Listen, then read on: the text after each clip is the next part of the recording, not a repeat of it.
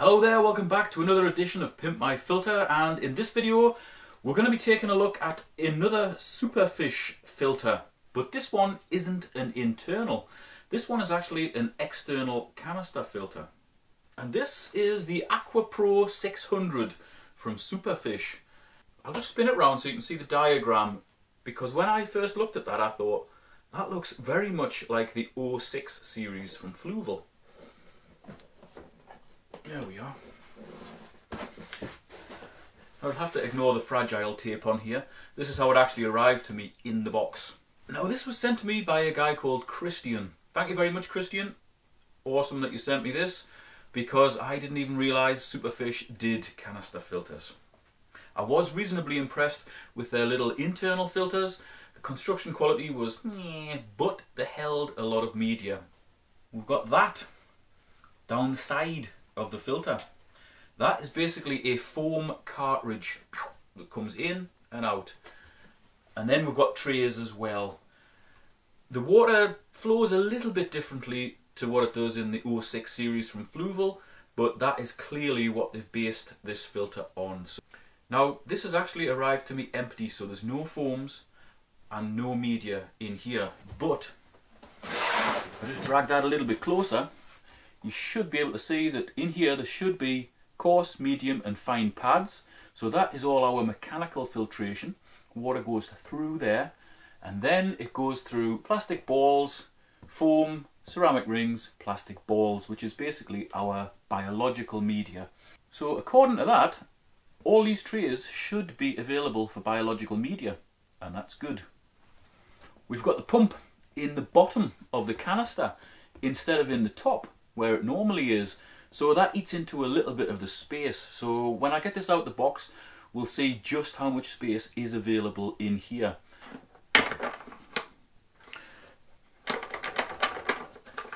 Now these fittings are okay. If they do happen to snap, you can get replacements, apparently.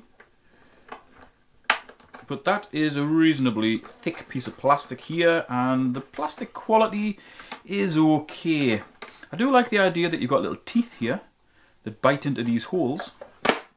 And that snaps down pretty well. And then on the other sides, you've got little grey clasps. So you would lift that up, then you would lift it up again so that it kind of breaks the seal and that allows you to get the top off.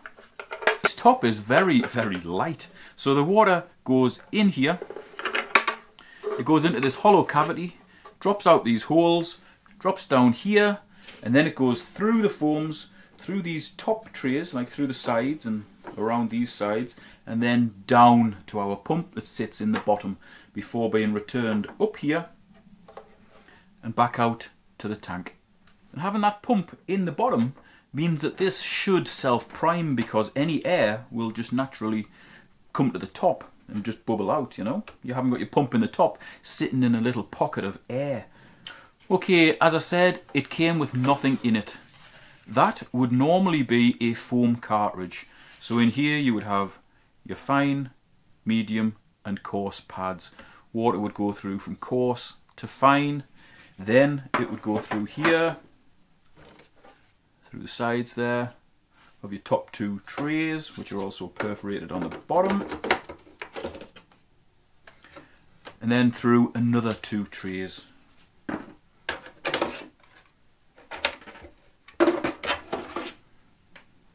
Now there's a little rubber seal that's fallen out of one of the trays. I will show you where that's from and why having multiple little seals isn't a good idea.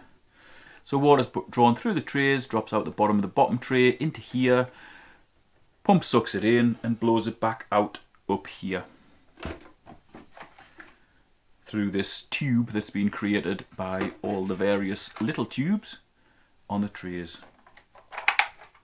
And if I flip these trays over, you should be able to see that there is a little rubber seal here. Now that can fall out, so you've got to be careful not to lose them. Yeah, there you go. That's where that one's come from. So that would sit on there, so that when that presses up against that, it does create a watertight seal. And actually these trays fit into each other very well. You've probably got about half an inch that slots inside. So they do really fit together very well to prevent any sort of um, bypass, you know. So two trays are perforated all the way around the sides. Two are not. And those two that aren't just have the perforations in the bottom. So those ones actually go in the bottom. And because they're not perforated around the outsides, the water is forced down through those ones. In these top ones, it's still forced down because obviously it's being drawn down by the pump, but water can flow around them and come in from all angles. So really, all four trays are available for media. So we'll just get that out of the way for the time being and we'll concentrate on the trays and also the foam insert. Uh, but before I do, I'll just say that this rubber seal around the outside here is really big and thick. And I was reading a few of the reviews online that were saying apparently the Eheim seal from some of their filters fits around here as well if you ever need a replacement. This one's actually a little bit dry, I might put a bit of grease on that before I send it back. Now because we've only got about maybe inch and a half or four centimeters to play with here as far as the thickness goes, we don't have room for a coarse, medium and fine sort of setup. Look at that. There just isn't the space for that. So really, we're kind of limited to using either a coarse and a medium, bear in mind the medium will catch most of the fine muck as well, or maybe a coarse and a fine, or a medium and a fine. Really you can set this up however you want. I think the medium and fine might block a little bit too quickly. So I'm actually going to go with coarse and medium. Both of them are just ordinary bumpy pond foams cut to size and they would just slot in like this. You can see we've got the bumps on there, that side, it's going to be pressed against that. We've got the flat bit, so we're effectively creating cavities there for a lot more muck to be held. And by having the bumpy side on the outside that is facing our flow of dirty water, that gives us maximum contact surface area on the outside. You can use flat foams if you want, but you can see the difference in the contact area between the bumpy one and the flat one. That's why I always use the bumpy one, to extend the intervals between getting into this filter and cleaning it out as long as possible. Just using bumpy foam or flat foam could make a difference of two or three weeks or something on a normal setup, you know, and if you're extending your cleaning times like that, you're going to be happier, the filter's going to be happier, and ultimately the fish are going to be happier. So we'll stick that other one in as well. Like so. Then we've got our coarse and medium. I will put those fine ones in to send back, just in case he wants to use them, but really that's probably as much as you need, a coarse and a medium pad. So we'll stick that in the filter. That slots in pretty well. And then we'll get on to the trays. Now I'm cheating because I've already filled these with various sorts of media so I know how much it takes. Each one of these trays will hold 750 grams of bio gravel. So we've got four trays, that gives us three kilos of bio gravel. That's what I used in here just to maximize the space because they are small trays and for you guys in the US 3 kilos is 6.6 .6 pounds. So because we've got that amount of media in here it puts it on par with the 406 obviously this thing's a hell of a lot cheaper. To be honest it isn't as well made as the 406 but it will hold as much media. And I do like that big pad with that big contact surface area. Anyway I'll fill this with media bring it back and then I'll show you. There's another one of those little washers falling out, little rubber washers. You've got to be careful not to lose them. Let's see which one that one's from. bottom one, right. I think the fact that the filter arrived here dry means that these have contracted a little bit. So they will fall out if this is bumped like that. Would have liked to have seen them fit a little bit better to be brutally honest with you, but even without them, the majority of the water, in fact I think all of the water's going to go up there. Yeah, I mean this slot inside of there, about a quarter of an inch or about five to six mil, so I don't think you're going to get any bypass anyway. But the washers ensure that you don't. Oh, I forgot to mention, all these trays actually have a little handle as well. It's actually pretty well made on the whole. You know, for a very cheap filter, it is well made. Yeah. Okay, so we've got the big foam pad there. I mean, look at that contact surface area. That is really good.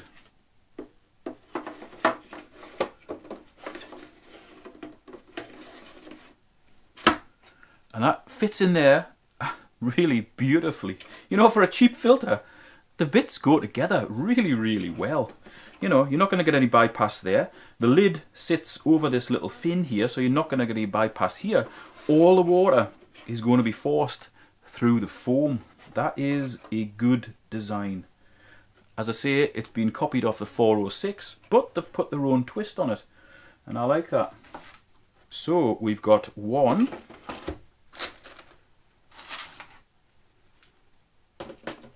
two,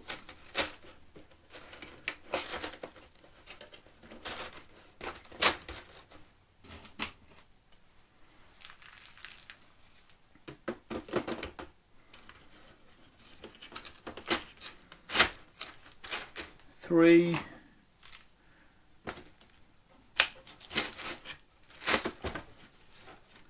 four trays filled with very, very porous hard work and media. And purely for shipping reasons, I'm just putting a bit of fine pad on top of that top tray so that when we squash everything down, nothing escapes. It shouldn't escape because this lid does lock in very well over here but I want to be doubly sure. I don't want any media coming out of here, dropping down there, and possibly ending up in the pump. Although I don't think it will, you know. This will just prevent anything like that happening if the box gets kicked around as it's going back to Christian. Normally you wouldn't have that on there. It wouldn't do any good anyway because the water's actually coming through the sides. It isn't coming through the top. And then to put the top on, you would go with the black clips first. One, two, and then the grey ones and that is on there secure. And on the back of the filter it actually gives you diagrams of exactly what to do when you need to take the pipes off, what to do when you need to take the top off and what to do when you put the top back on. That's very good because most people end up losing the instructions. Okay, so just a few facts and figures about this filter. It is cheap, check it out, I'll put a link to it in the video description. Although I think the places that I looked at the other day, they were actually out of stock, so you might have to do a little bit of looking around to find out if there's any of these available. It's surprisingly well made for such a cheap filter. I am impressed by that. In fact, I am as impressed about the construction quality of this cheap filter as I was disgusted by the crap construction quality of the expensive Eheim Pro 4 filter. I took a look at a long time ago. It's yeah, I would have one of these. I would I would take I would take one of these over the Eheim any day. That might sound like blasphemy, you know, but this is cheap and it will do a good job. It's got a 28 watt pump in here, so it isn't the most efficient pump, but because it's 28 watts, you're probably not going to get as much pressure drop as you would through a so-called efficient pump. The maximum flow on this is given as 1300 litres per hour, which is about 340 US gallons per hour.